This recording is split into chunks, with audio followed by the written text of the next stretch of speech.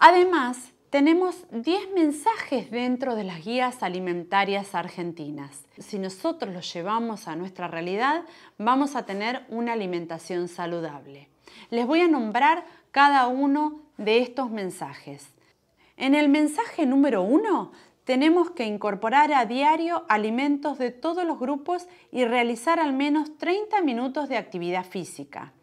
En el mensaje número 2 nos habla de que tenemos que tomar 8 vasos de agua diario, es decir, 8 vasos de agua todos los días. En el mensaje número 3 tenemos que consumir 5 frutas y verduras por día.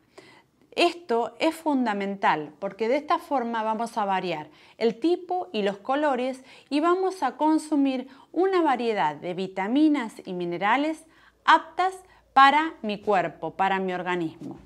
El mensaje número 4 es reducir el uso de sal y el consumo de alimentos con alto contenido de sodio. El mensaje número 5, limitar el consumo de bebidas azucaradas y de alimentos con alto contenido de grasas, azúcar y sal.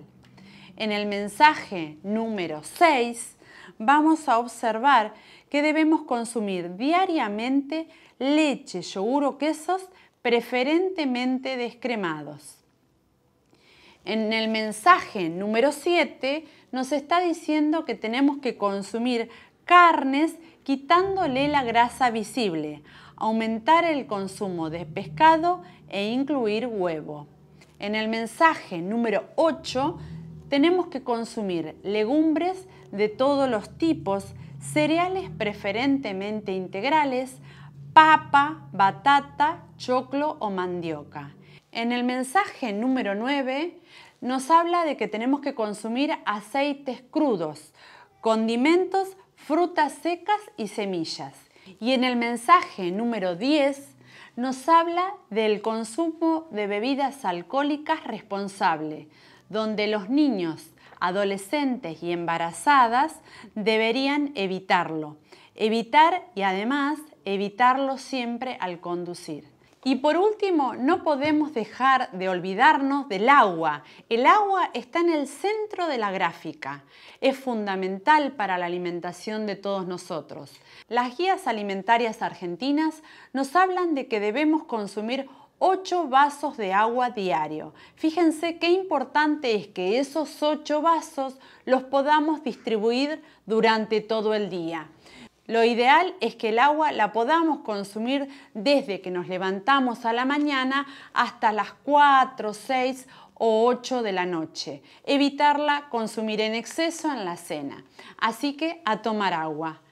Estos son los 10 mensajes que nos expresan las guías alimentarias argentinas.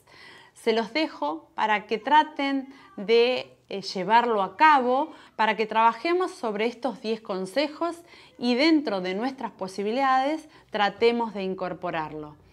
Nos estamos viendo en las próximas emisiones. Les dejo un saludo grande.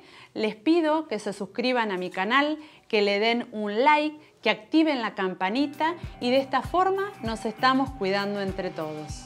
Adiós.